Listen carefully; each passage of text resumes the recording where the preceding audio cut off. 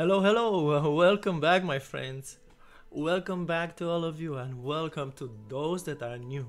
You know that on this channel I always bring the truth, and uh, the truth shall set you free as well. So say no to every lie that the mainstream media is throwing at your way. Let's speak about something that is concerning and sad. First, openly trans army officer charged in plot to give US military medical info to Russia. All this happened in Baltimore, Maryland.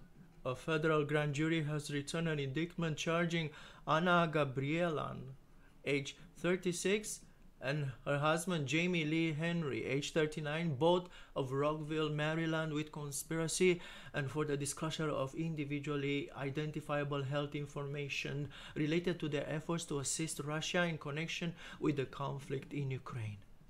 The indictment was returned on September 28, 2022, and unsealed today upon the arrest of the defendants.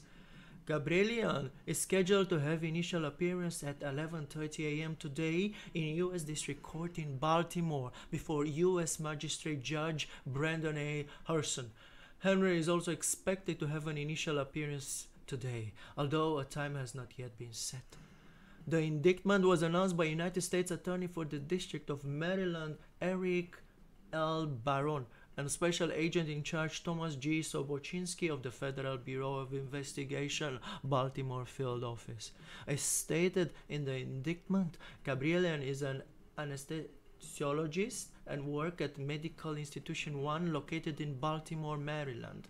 Henry, a major in the United States Army who held a secret level security clearance, is Gabrielian's husband and a doctor.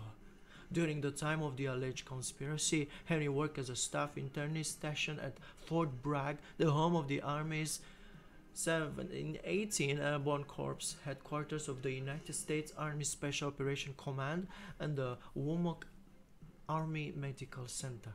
According to the eight count indictment, Gabrielian and Henry conspired to cause harm to the United States by providing confidential health information of Americans associated with the United States government and military to Russia. Specifically, the indictment alleges that beginning on August 17, 2022, Gabrielian and Henry conspired to provide this information related to patients at medical institution 1 and at Fort Bragg to an individual they believe to be working for the Russian government in order to demonstrate the level of Gabrielian's and Henry's access to all these infos, their willingness to provide these infos to the Russian government and the potential for the Russian government to gain insights into the medical conditions of individuals associated with the United States government and military in order to exploit this information. Gabrielian and Henry met with an individual they believed to be associated with the Russian government, but who was in fact a Federal Bureau of Investigation undercover agent in order to convey to this undercover agent their commitment to aid Russia and to discuss ways in which they could help the Russian government. Gabrielian told the UC that she, well, she, uh, she is a trans, she had previously reached out to the Russian embassy by email and phone offering Russia her and her husband's assistance. Gabrielian told the UC that although Henry knew of Gabrielian's interaction with the Russian embassy, she never mentioned Henry's name to the Russian embassy. Gabrielian wanted to make sure Henry could deny any knowledge of her actions. On August 17, 2022, Gabrielian met with the UC at a hotel in Baltimore. During that meeting, Gabrielian told the UC she was motivated by patriotism towards Russia to provide any assistance she could to Russia, even if it meant being fired or going to jail. Gabrielian proposed potential cover stories for meeting the UC and the need for plausible deniability in the event she was confronted by American authorities about meeting with the UC. Gabrielian also told the UC that as a military officer, Henry was currently a more important source for Russia than she was because he had more helpful information, including how the United States military establishes an army hospital in war conditions and information about previous training provided by the United States military to Ukrainian military personnel.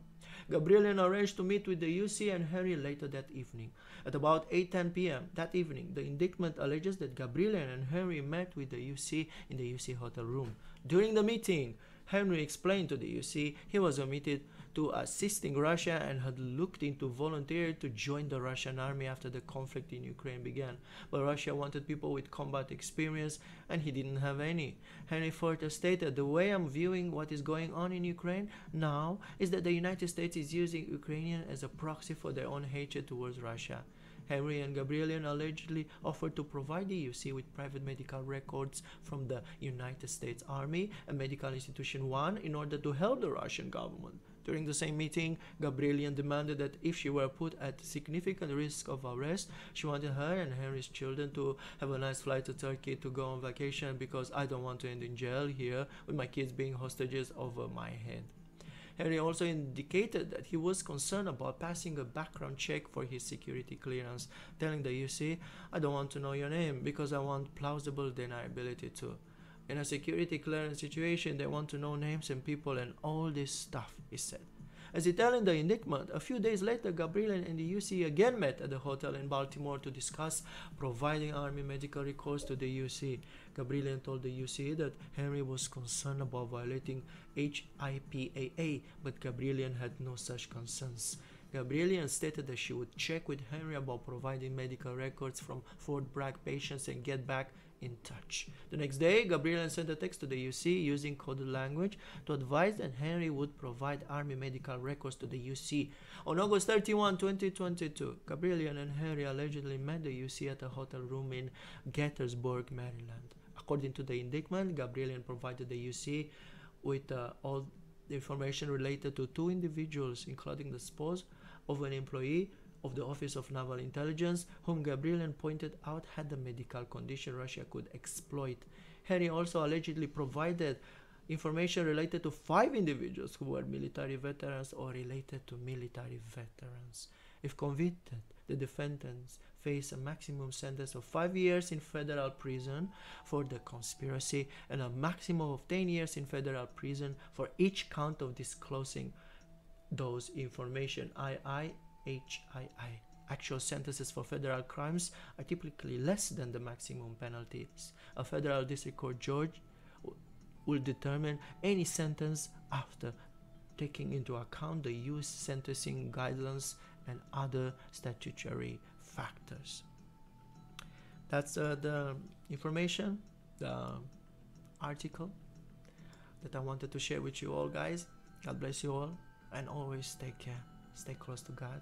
We live in perilous times like never before. Take care, and uh, if you enjoy, if you like what I'm doing, by all means, smack that subscribe button. See you soon, friends.